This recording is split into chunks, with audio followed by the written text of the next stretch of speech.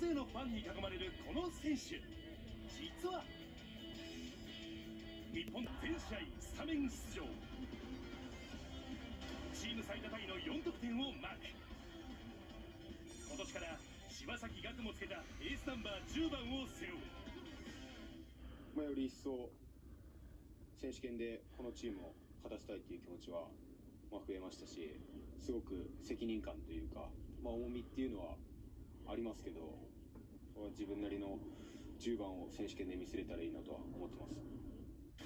そんな松木が絶大な信頼を寄せるのが。なんか後ろにいて点決められる感じもしないですし、まあ、尊敬します、まあ、雄大さんはもう全てにおいてのポテンシャルがすごく高いんで。2人目は3年生。浦和レッズに入団が内定しているキャプテン藤原雄大。藤原の武器は？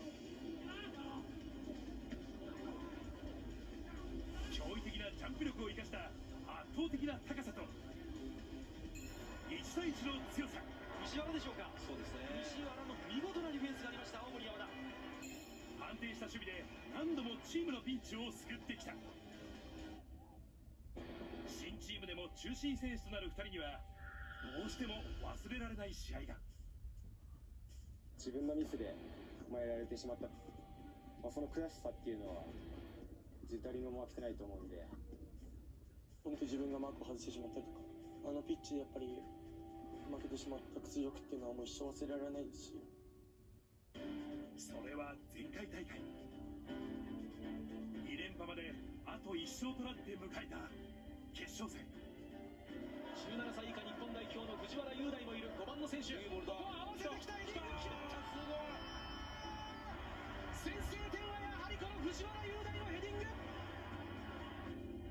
で1点をリードし優勝は目前に。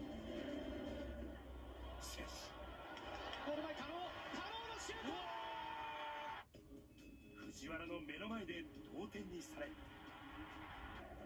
後半終了間際。巻いてくるボールファーサイド。決まった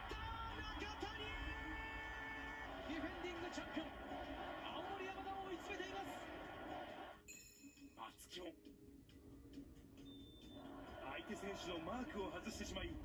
勝ち越しを許す。そして今試合終了の笛が吹かれました。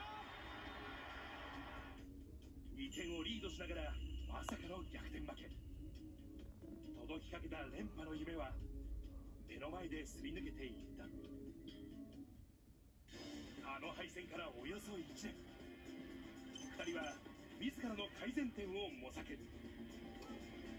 右足の強化だったり、まあ、判断力だったり、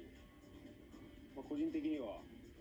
えーまあ、足がつってしまうってところも多かったんで、えーまあ、体幹強化肉体強化ってところはすごくこの1年で取り組んできましたね。とやっぱりフィジカルなその欠点をなくすっていうふうに監督にも相当言われていたのでベンチプレス90キロ以上がノルマだよっていうふうに持ってないやつは H じゃないっていうふうに言われてたんで県内だったりその他のチームにもっと圧倒的な差をつけていきたい去年の悔しさを糧にさらなる成長を続ける2人へ。名将黒田監督も期待を寄せる。松木に関しては、まあ、今の2年生というあーそのポジションに甘んじることなく、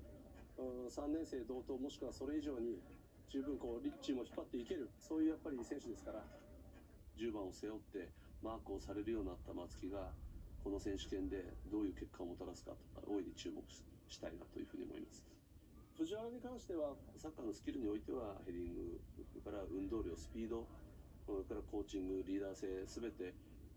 今まで見てきたセンターバックの中でトッもプレベルプロに行っても通用するぐらい、まあ、ウィークポイントが見当たらない。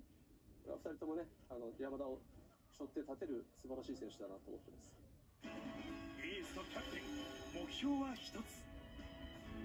チーム全員が、えーまあ、思ってることは全国優勝だと思うんで本当に今年の山田は強いんだぞって思わせるような、えープレーはすごく見せていきたいなとは思うので王座奪還っていう、えー目標に掲げて1年間やってきたので、えーそれを必ず、えーまあ、結果で見せれるように全力で取り組んでいきたいなと思ってます。注目の青森山田高校は2回戦